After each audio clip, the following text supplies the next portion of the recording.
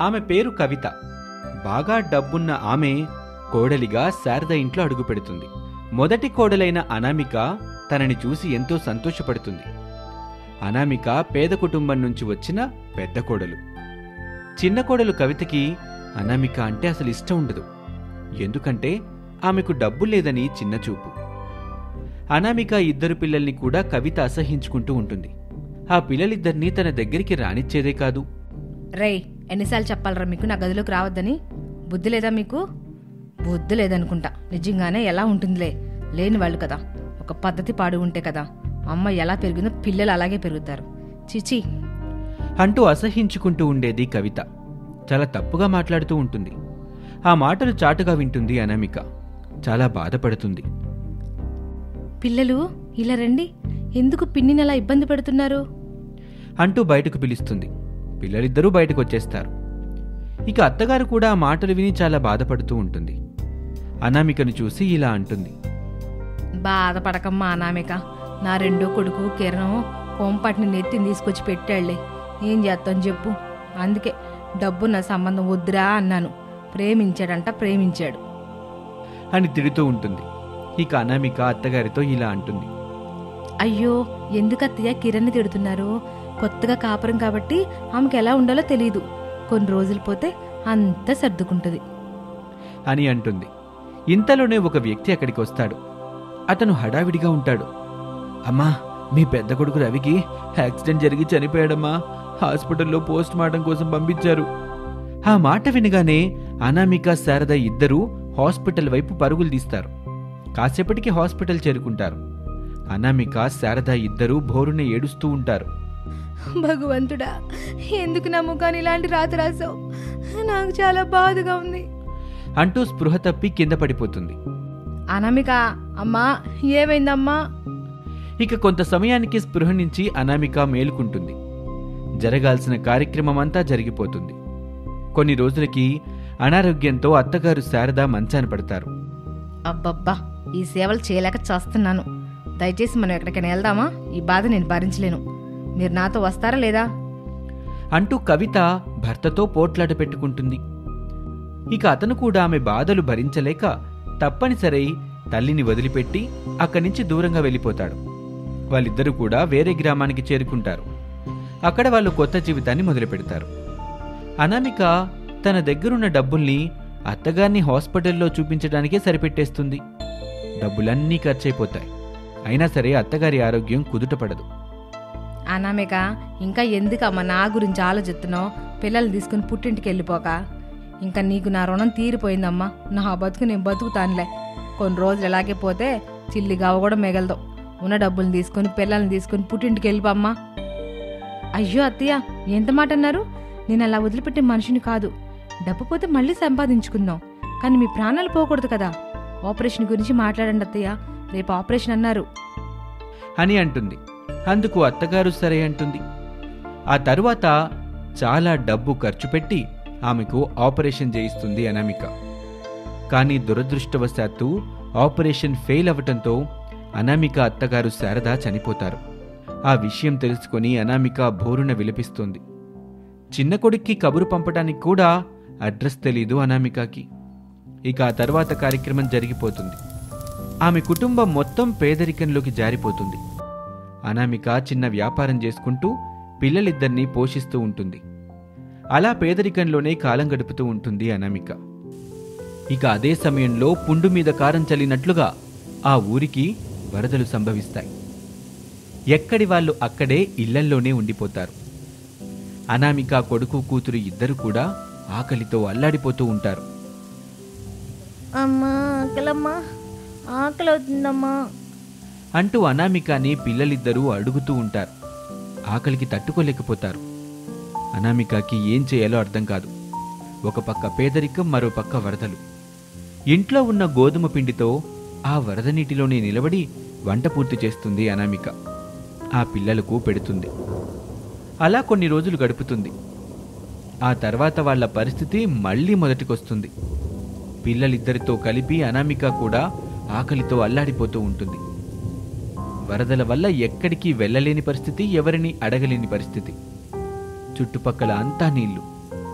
అనామిక తన దుస్థితిని తలుచుకొని ఏడుస్తూ భగవంతుణ్ణి ప్రార్థిస్తూ ఉంటుంది.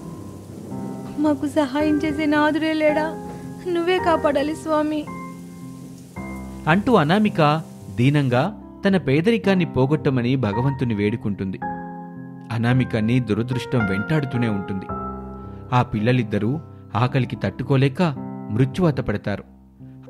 ఆకలితో చనిపోయిన పిల్లలిద్దరినీ చూసిన అనామిక తట్టుకోలేకపోతుంది. భగవంతుణ్ణి తలుచుకొని ఏడుస్తూ ఉంటుంది.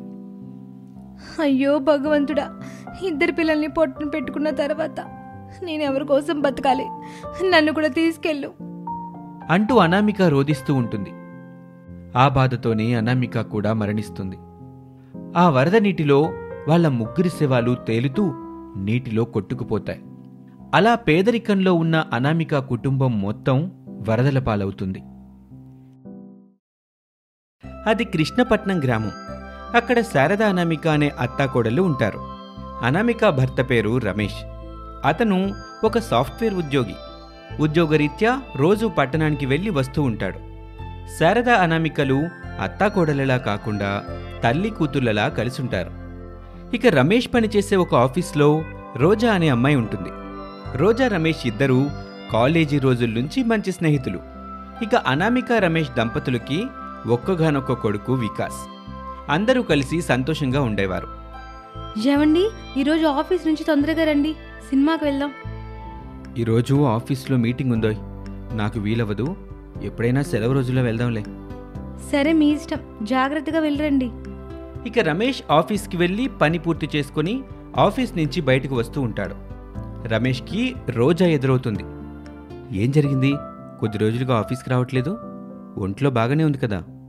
బాగానే ఉన్నా. అంటూ ఏడుస్తూ ఉంటుంది రోజా. బాగానే ఉన్నా అంటూ ఎందుకు ఏడుస్తున్నావు? అసలేం జరిగింది? మా అమ్మ నాన్న కారు యాక్సిడెంట్లో చనిపోయారు. నేను అనాథగా మిగిలిపోయాను. నాకంటూ ఎవరూ లేరు. ఒంటరి దాన్ని అయిపోయాను. అయ్యో ఎందుకలా బాధపడుతున్నావు? నువ్వేమీ దిగులు పడకు. ఒంటరిగా ఉంటే ఇలాంటి పిచ్చి పిచ్చి ఆలోచనలే వస్తాయి. పద మా ఇంటికి వెళ్దాం. వద్దు రమేష్ నాకు ఇష్టం లేదు. మీ భార్య పిల్లలు నా గురించి ఏమనుకుంటారో? అయినా ఎన్ని రోజులని నీ దగ్గర ఉంటాను తర్వాత అయినా ఒంటరిగా ఉండాల్సిందే కదా.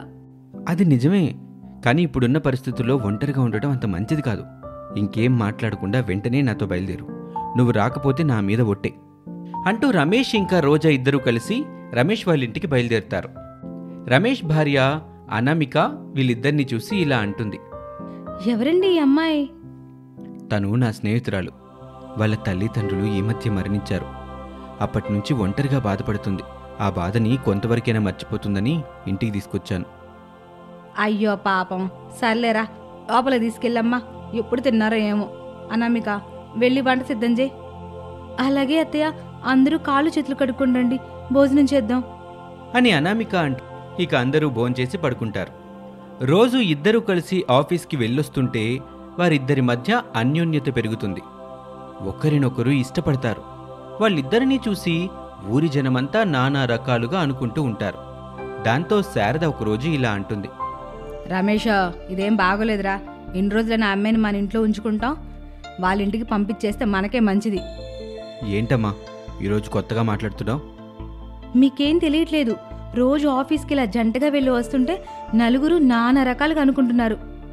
ఎవరో ఏదో అనుకుంటారని మీరు నన్ను ప్రశ్నిస్తున్నారా? అయినా ఇందులో రోజా తప్పే ఉంది. అయినా సరే ఇంత దాకా వచ్చింది కాబట్టి చెప్తున్నాను. నేను రోజాని ప్రేమిస్తున్నాను. తనని పెళ్ళి చేసుకోవాలనుకుంటున్నాను. అసలు నీకు మతే ఉండి మాట్లాడుతున్నావా? నీకు పెళ్ళై భార్య పిల్లలున్నారు. ఆ విషయం మర్చిపోయావా? నాకు రోజా తప్ప ఎవరూ అవసరం లేదు. మర్యాదగా మీరు బయటకు పండి. అంటూ రమేష్ అనామిక శారద వికాస్లని బలవంతంగా బయటకు తోసేస్తాడు. అత్తయ్య నేను ముందు నుంచి చెబుతూనే ఉన్నాను. ఇలాంటి పని ఏదో జరుగుతుందని అనుకున్నంత జరిగింది. కట్టుకున్న భార్య పిల్లల్ని వదిలేసి నువ్వు దీని మోజులో పడి మమ్మల్ని బయటికి తోచేస్తావా? నువ్వెంతకింత అనుభవిస్తావురా? వెళ్ళిపోదాం పదానామిక అంటూ అనామిక శారదలు వికాస్ని తీసుకుని ఆ ఇంటి నుంచి బయటికి వెళ్ళిపోతారు. కొన్ని రోజులకి రమేష్ అన్నట్లుగానే రోజాని వివాహం చేసుకుంటాడు. అనామిక శారదలు ఒక హోటల్కి చేరుకుంటారు. అయ్యా ఏదైనా పనుంటే చూపిస్తారా? అలాగే పనిప్పిస్తాను గాని నాకేంటి? పని గురించి నీ దగ్గరకు వస్తే పిచ్చి పిచ్చిగా మాట్లాడతావా? ఆడవారిని గౌరవించడం తెలియని వాళ్ళ దగ్గర పని చేయడం కన్నా అడుక్కు తినడం మంచిది. పదవే పోదాం. అంటూ శారద అనామికని తీసుకొని అక్కడి నుంచి వెంటనే బయలుదేరి వెళ్ళిపోతుంది. అలా దారిలో అడుక్కుంటూ ఒక గుడి దగ్గరికి చేరుకుంటారు. అప్పుడే అక్కడికి ఒక స్వామీజీ వస్తారు. అనామిక శారద ఇద్దరూ జరిగిన విషయాన్నంతా స్వామీజీతో చెప్పుకొని బాధపడుతూ ఉంటారు.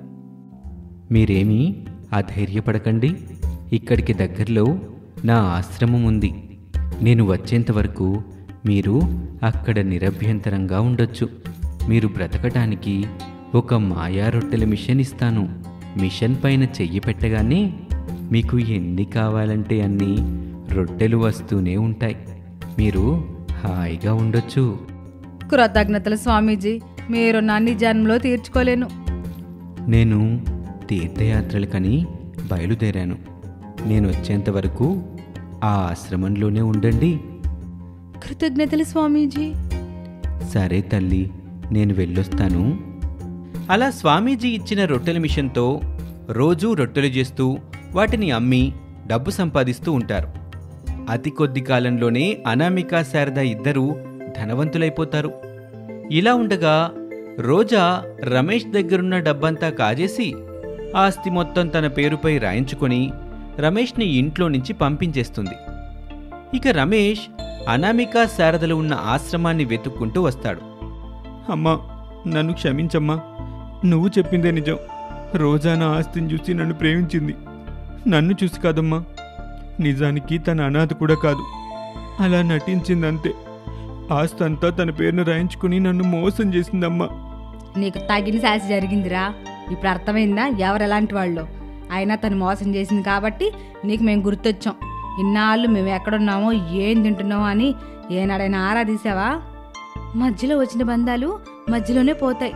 మొదటి నుండి ఉన్న బంధాలు చివరి వరకు వెంటొస్తాయని ఊరికే అనలేదు. నన్ను క్షమించానమిక నీకు తీరని అన్యాయం చేశాను. నడి రోడ్డుపై మిమ్మల్ని అనాథులుగా వదిలేశాను. అయినా మీ తప్పు తెలుసుకొని మళ్ళీ మీరు మా దగ్గరకు వచ్చారుగా? నాకు అది చాలు. రండి మీరు కూడా మాతోనే కలిసి ఉండండి. అంటూ అందరూ కలిసి సంతోషంగా ఉంటారు.